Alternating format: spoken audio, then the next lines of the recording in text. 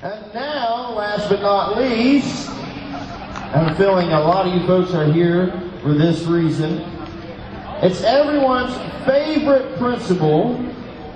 He gave me the tension hall earlier. I kid you not. What's up with that? Dennis Haskins, aka Mr. Belding, ladies and gentlemen.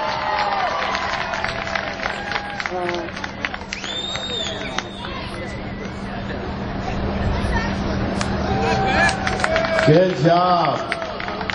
And uh, when do I start my detention hall? I don't think so.